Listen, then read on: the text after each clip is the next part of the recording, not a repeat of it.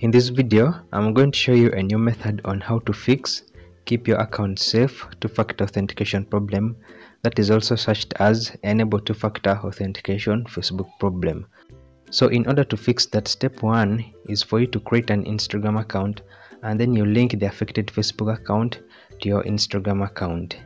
And to do that, you're going to open your Instagram account, then you click on your profile icon at the bottom right corner, then you click on the three dash menu at the top right corner then you select settings and privacy. Then under settings and privacy you select account center. Then under profiles you're going to click on that. And then you click add accounts. Then select add facebook account. So by default it will show the facebook account that is already signed into your device. But if it doesn't show the account you want then you just click not you and you'll be able to add other accounts so if it is the one then you click continue. So then from there now you proceed and then you finish adding accounts. After that your facebook account is now linked to your instagram account. Now that your accounts are linked together step 2 is for you to deactivate the facebook account via the instagram app. And to do so while logged in you click on your profile icon at the bottom right corner and then you select the three dash menu at the top right corner. Then you go ahead and select settings and privacy. Then still you go to account center.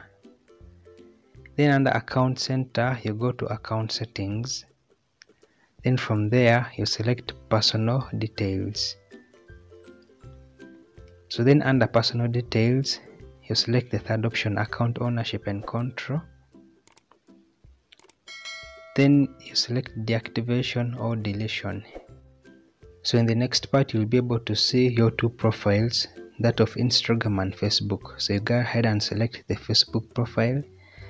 Then here you'll also have two options deactivate account and delete account. So you select deactivate account the first option. So after selecting that then you click continue. So then you enter your facebook password then in the list of the suggested reasons as to why you want to deactivate your account, you select the first option. This is temporary. I'll be back. Then after that, you continue. Then in the next part, you're going to go to the option that says reactivating your account. Then you will see a little drop down arrow that you're going to click on. So when you click on that drop down arrow, you make sure that you select the last option, don't reactivate automatically and then you click done then proceed and select continue. Then after that you can confirm the temporal deactivation of your account. So if it asks you to continue using messenger you don't select that option. So you leave it unselected.